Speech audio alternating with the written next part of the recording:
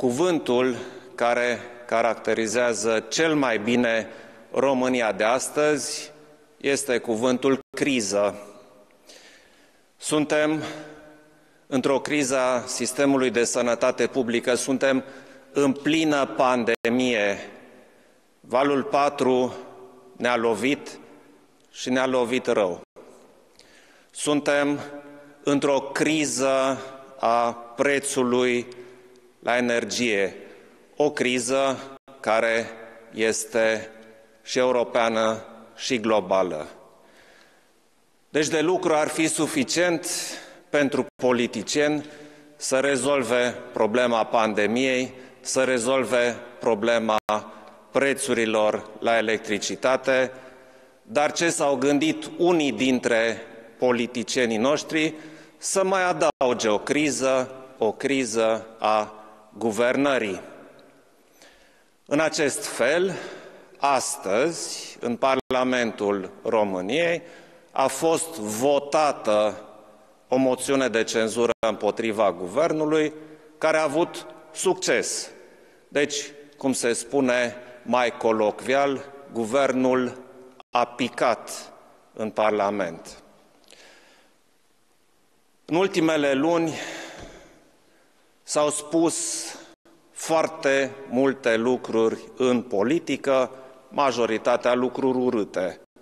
Politicienii s-au obișnuit să se arate unul pe celălalt cu degetul, să se acuze de diferite lucruri, asta inclusiv în interiorul partidelor, oamenii nu știu ce să mai înțeleagă.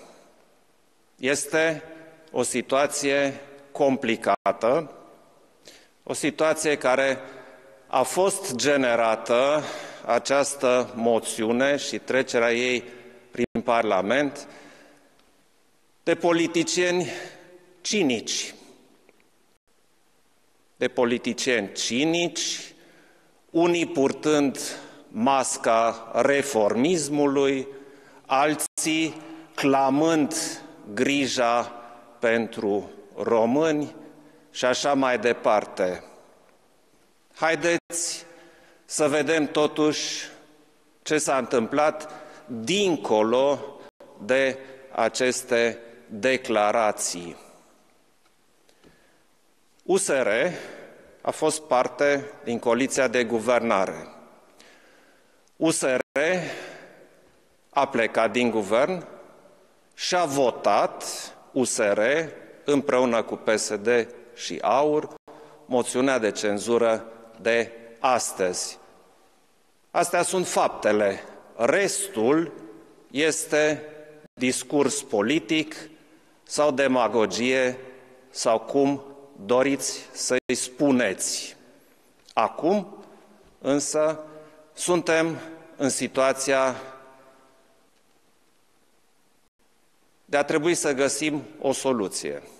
Trebuie să găsim o soluție. România trebuie să fie guvernată.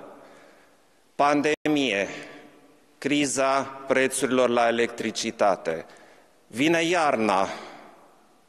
Toate acestea trebuie să, să fie rezolvate de cineva. Acest cineva, evident, este Guvernul României. Așadar, este nevoie de soluții și este momentul pentru decizii mature.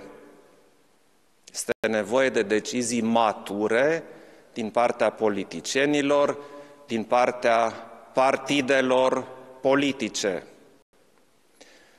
Pentru a da timp partidelor politice să se întrunească în forurile interioare, să găsească abordări mature, și să vină cu ele la consultări, voi convoca consultări cu partidele politice abia săptămâna viitoare. Acum se cere maturitate și responsabilitate. Vă mulțumesc!